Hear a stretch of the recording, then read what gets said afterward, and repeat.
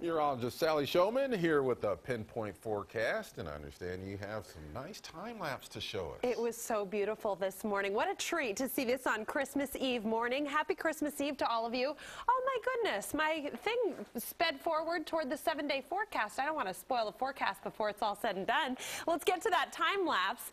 It was gorgeous. Let's look live now, or live earlier this morning along the south waterfront.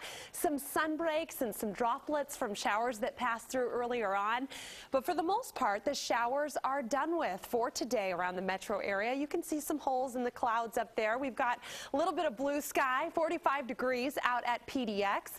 And we'll top out at about 46, 47 possibly later on this afternoon. I'll take you now to the Tolovana Inn. This is a live look there. We've been watching people all morning long walking the beach. Not a bad morning to do it. Definitely a better morning today than will be tomorrow on Christmas morning. Pinpoint Doppler shows you how things are mainly dry after a few morning showers. We're mostly dry from the coast all the way inland through the Willamette Valley. Just a few showers, snow showers over the Cascades. We've had about 16 inches of fresh snow in the last 24 hours at our ski resorts. So it certainly has been uh, very snowy up there, and we're going to tack more onto that uh, snowpack in the coming 24 hours. 43 degrees in downtown Portland, 42 for Vancouver, and 44. Good afternoon to you in Gresham. Right at freezing in Bend, and 45 degrees in the Dalles this noontime. So today we're in a break between storms, and that's why we have the quieter weather, but it's easy to pick this out on satellite. This is the Christmas Day storm that's going to be bring rain, snow, and breezy conditions. So who will see what? I want to time it out for you here on Raincast. As we go through the overnight hours, watch the clock here. This is 2 a.m., so you can see the snow is coming down in the Coast Range, the first of the rain making it to the metro area. I'll pause it again here at 4 o'clock because I think folks on the west side of town could start off as a rain-snow mix or snow over the Coast Range as well, and then areas to the north of Portland, maybe northern Clark County into Longview and Kelso. But then look at this. This is 8 o'clock in the morning, and we've switched switched over to rain in the Willamette Valley. It has been snowing, meantime, all morning long through the gorge and in the Cascades. That snow continues to come down all morning, all afternoon through the gorge. So I'm, I'm thinking impressive snow totals everywhere east of, say, um, you know, Council Crest and, and locations in the eastern gorge.